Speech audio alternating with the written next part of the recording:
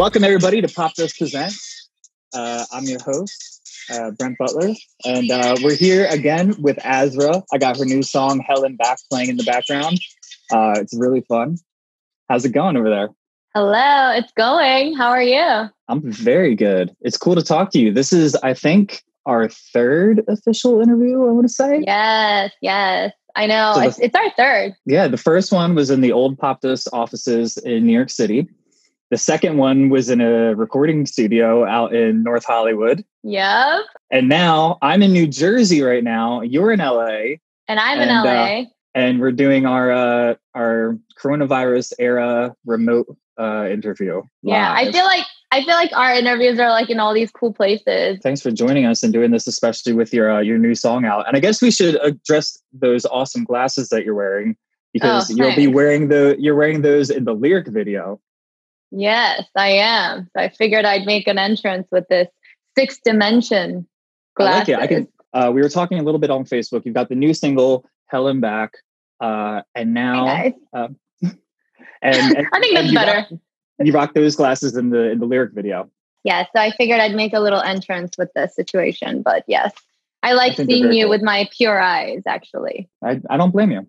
Tell us a bit more about the song "Hell and Back." So Hell and Back is basically it's a bounce back song. It's a song about just empowerment and um, so easy for us to celebrate the wins and the little victories and and the little the good news that we hear. But Yeah. when it comes to all the setbacks and all the um, all the not so positive ones, you know, we don't know how and what we're supposed to do with them. So oftentimes we kind of fall into like, you know, just coping with it in in our own ways. And many times it's not always the positive coping mechanisms.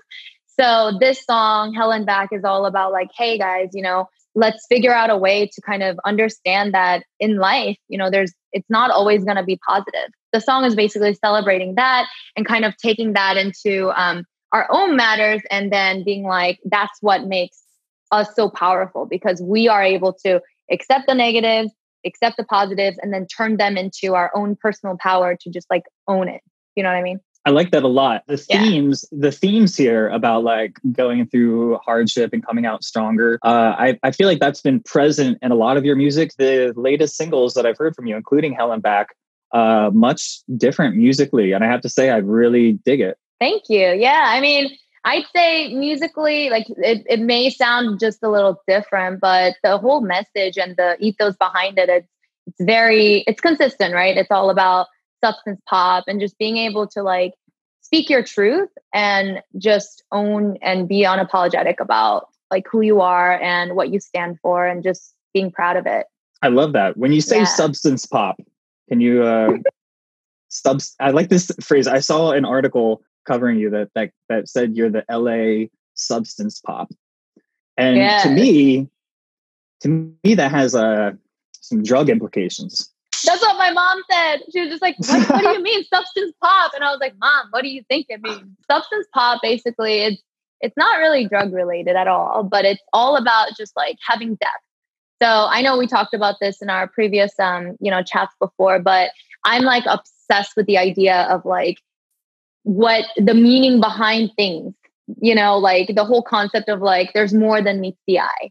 Um, and I think that whole obsession came from my experience with my glaucoma when I had it when I was like young. I was diagnosed with glaucoma and I couldn't see out of my right eye for a while and I was temporarily blind. And that kind of, you know, led me to figure out like what else is what else is out there and figure out, you know, just finding peace within myself.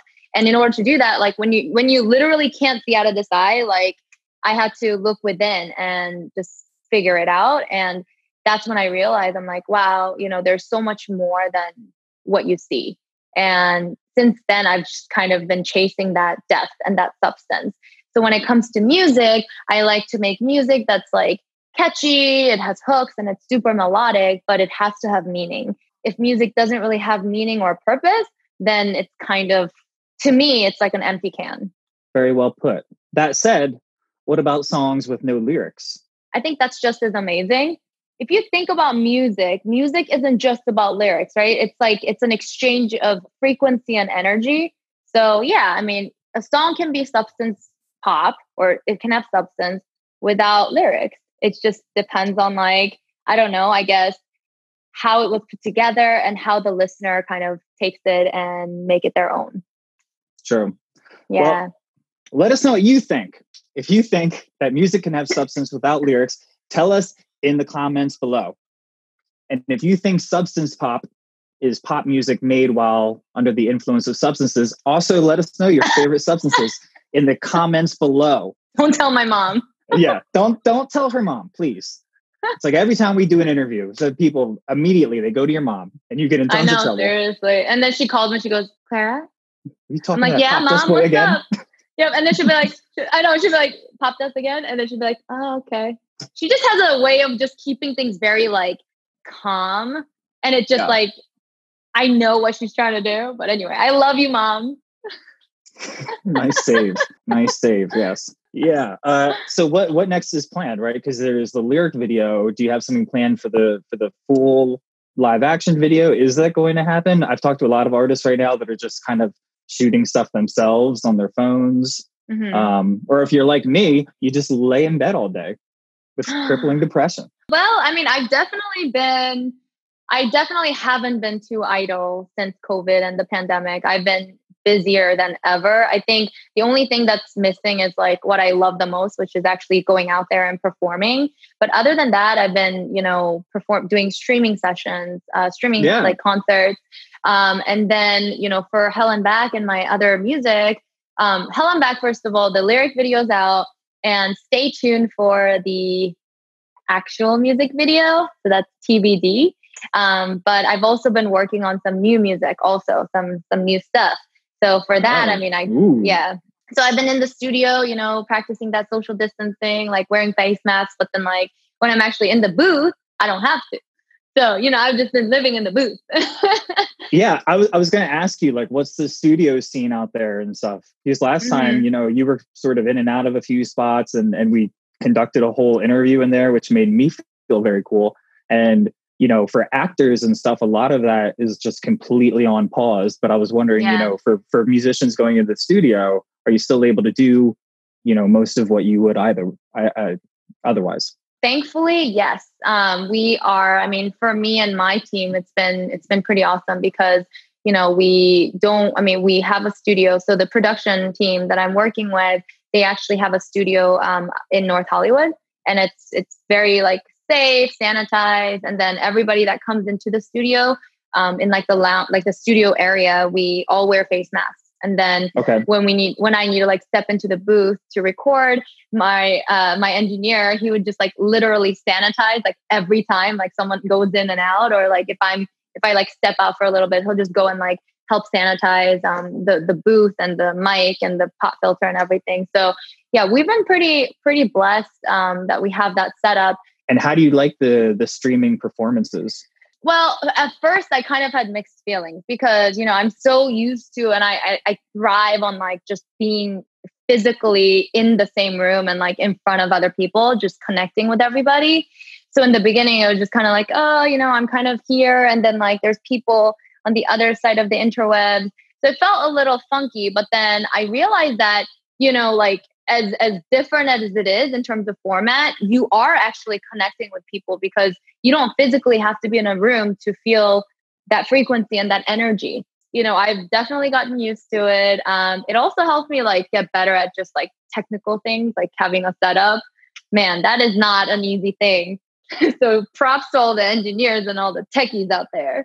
Well, correct yeah. me if I'm wrong, but you started on like piano, right? Yeah, I did. I was going to say for a song like Hell and Back, brand mm-hmm. new single check it out everywhere that's like a very like the production is very like pop kind of tropical house vibes with like a lot of sort of like samples how do you is that one that you're able to do on these live streams or do you do you just do like a backing track or how would that yeah. work for that um, we just use the back backing track i think you know cool. um, yeah and, and it's it's worked out pretty well but you know with like these streaming platforms and stuff like there's ways i found out that like you can actually play the song in the background yeah. and then stream it at the same time so it it comes out super nicely mixed which is so cool so yeah we've definitely tried that um i have i done an acoustic piano. I haven't done an acoustic piano performance for Hell, Hell and Back. Hell and Back, a very um, appropriate sentiment uh, for 2020, I think. Yeah. Absolutely. When did you write the song? Was this like a premonition or? You know, I've been asked that question before. And as much as I want to say, oh, I wrote it this year, right as, as soon as quarantine happened, no, I actually wrote this song, co wrote it um, before quarantine, like sometime last year. And it's crazy how, like, how, how fitting it is for this time. And I truly felt that when I was looking at different songs that I wanted to release, um, Hell and Back really like touched me. And I was like, I think this is a song. It's it's a song of hope. It's a song of acceptance. It's a song of bounce back and just owning your personal power, regardless of the hardships and the the good stuff that we deal with. Um, so yeah, so I felt like it was perfect um, to kind of release to everybody and the world um, to hopefully shine some light in the midst of all this stuff that's happening what's coming out next for you? What are you working on? Is Hell and Back going to be part of a larger project? Just kind of experimenting? Definitely working on new music. Um, I plan to release some more music, so stay tuned.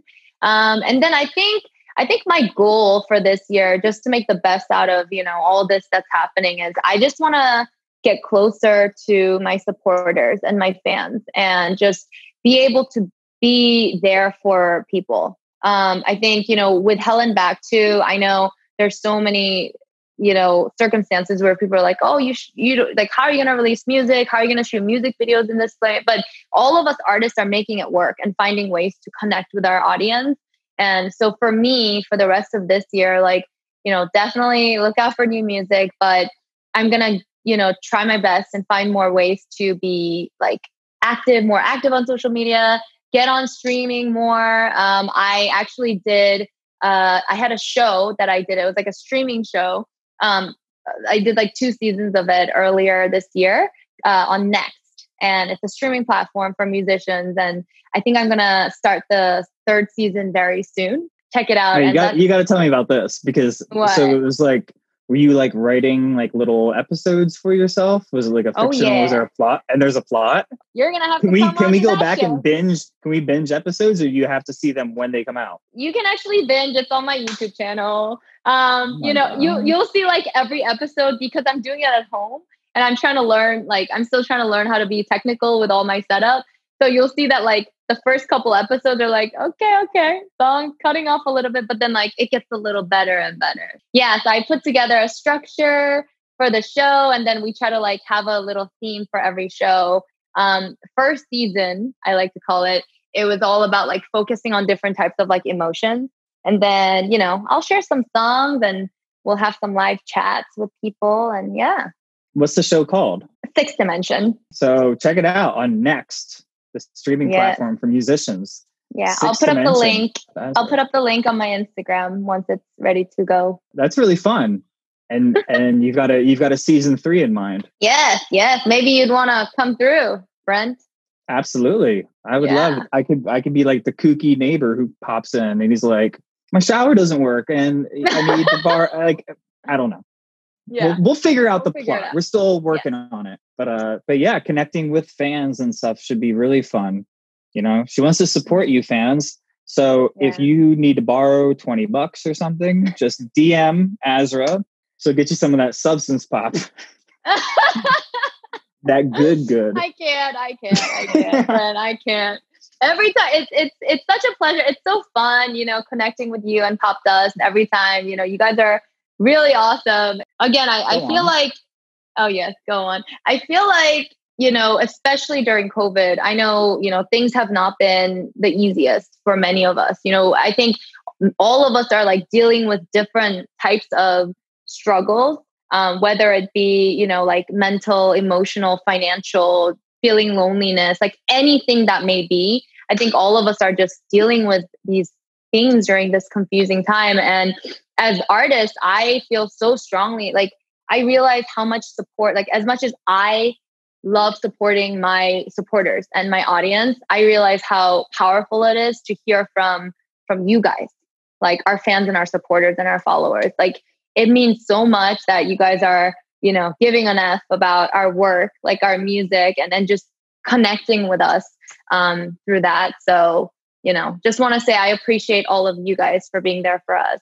Well, that's a that's a beautiful message. Um, I think that's a great moment to to end on. Azra, thank you so much for spending time with us. So, thank you for being here uh, with us. Thank uh, you for, for having me. It's been Popdust Presents Quarantine Edition with Azra, the Azra official everywhere, and your new single, Hell and Back, is a hell of a lot of fun and is available everywhere.